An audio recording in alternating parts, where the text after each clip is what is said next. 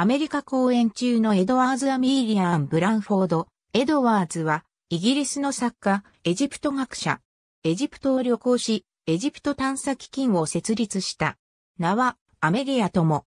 エドワーズは、ロンドンに生まれ、家庭内で主に母から教育を受けた。新聞、雑誌に投稿した短編を別にして、1855年に、処女作、マイブラザーズ・ワイフを出版して、以来、2年に1本の速度で新作小説を発表していたが、1864年のバーバラ・エスヒストリーで初めて成功した。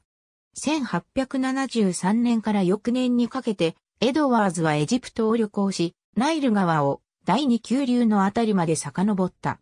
帰国後、自らヒエログリフを学習した。1877年に自分で描いたものを含む図を大量に含んだ旅行記ナイル訴状1000マイルを発表し、大きな反響を呼んだ。当時のエジプトで遺跡はほとんど保護されておらず、クチルに任されていた。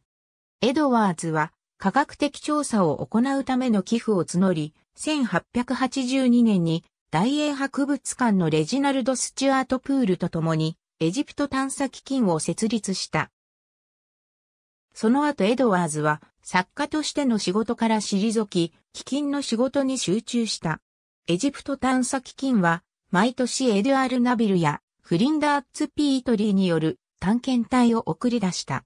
1889年から翌年にかけて、アメリカ合衆国で講演旅行を行ったが、その時に事故で左腕を骨折した。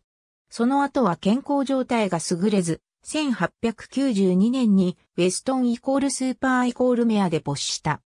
医師によってその蔵書やエジプト関係のコレクション、及びに1415ポンドの遺産がユニバーシティカレッジロンドンに送られ、その資金をもとに1892年にイギリス最初のエジプト学講座が同校で開かれた。他にガストン・マスペロの著書の翻訳がある。短編2本が日本語に翻訳されている。ありがとうございます。